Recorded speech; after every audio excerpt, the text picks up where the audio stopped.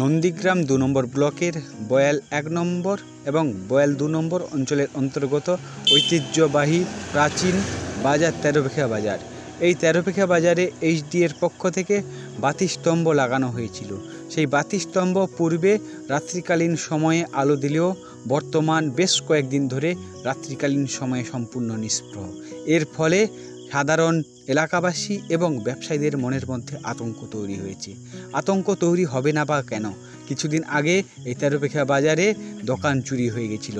সেই কারণে বর্তমান সময়ে এলাকাবাসী ও ব্যবসায়ীর মনের মধ্যে রাত্রি হওয়ার সঙ্গে সঙ্গে আতঙ্ক তৈরি হয়।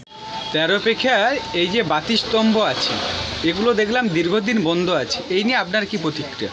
এই তো দীর্ঘদিন ধরে বন্ধ আছে। প্রশাসন কোনো পদক্ষেপ লাইট দিচ্ছে না। প্লাস হচ্ছে এই করে আমার এক আমার দোকানে এই দোকান চুরি হয়ে গেছিল। লাইট জ্বলছে কখনো জ্বলছে না। আর চুরি তো এই কারণেই হচ্ছে। লাইট থাকতে থাকতে লাইট জ্বলছে না।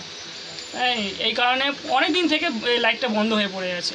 আধিকারিকগণকে জানানো হয়েছে? হ্যাঁ জানানো হয়েছে কিন্তু বাজার কমিটিকে জানানো হয়েছে সবাইকে জানানো হয়েছে কিছু কাজ হচ্ছে না। কোনো প্রতিক্রিয়া পাওয়া গেছে সেই সময় কোনো প্রতিক্রিয়া পাইনি ওরা বলছিল আশ্বাস দিয়েছিল যে ঠিক করে দেবো কিন্তু এখন পর্যন্ত ঠিক করছেই না। আপনার নাম? নাম মীর মতুর রহমান। ধন্যবাদ।